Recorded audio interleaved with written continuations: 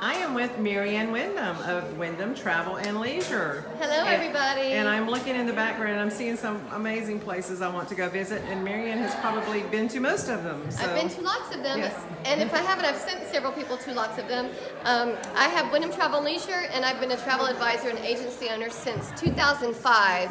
So I know what I'm doing. I love what I'm doing. It's a huge passion of mine, and I come by it honestly. My parents, and my mom in particular, was what we call in the agent in the um, industry as a Pied Piper.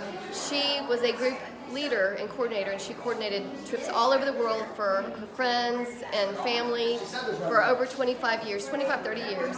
And so it's been a part of my life as a young person, and now I've had my agency since 2005. And um, in, addition to booking honeymoons, I am specialized and certified in several things, including sandals, Hawaii, Mexico, Ireland, several different regions in, in the world. Um, I have clients traveling right now, and I have the relationships with the wholesalers and suppliers where promos I have access to and all of the inside information to assist my clients with their making their bucket list dreams come true. I am a curator of custom travel. Ha happy to be here at this bridal fair.